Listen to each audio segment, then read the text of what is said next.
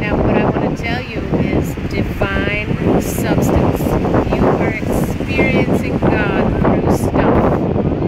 But I want to add another chunk of information